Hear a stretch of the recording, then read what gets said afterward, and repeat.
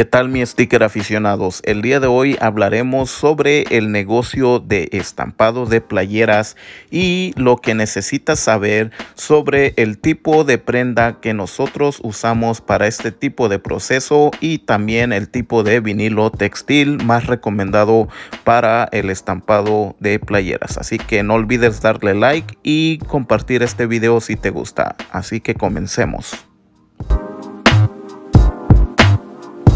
El negocio de playeras es muy rentable, sobre todo en Estados Unidos. Así es como Sticker Aficionado empezó este tipo de negocio. Empezamos a personalizar playeras y vender en mayoreo.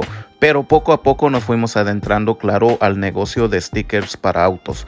Pero este tipo de proceso tiene un chiste y ese chiste es que si tú quieres que el cliente regrese a comprar a tu compañía, necesitas tú también invertir en tu cliente. ¿Qué me refiero con eso? Bueno, a que si tú le das un buen producto a tu cliente, ellos regresarán a comprarte más cosas y también se encargarán de pasar la palabra y recomendar tu negocio con otra gente.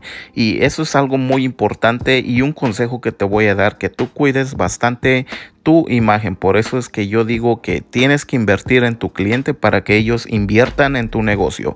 Claro, no debes de confundir en ser el más barato, sino más bien ser el mejor. Y bueno, la prenda que nosotros más usamos y que también más recomendamos para este tipo de proceso que es el HTB es la prenda que está compuesta de 50% algodón y 50% poliéster, ya que hemos notado mejores resultados en ese tipo de prenda.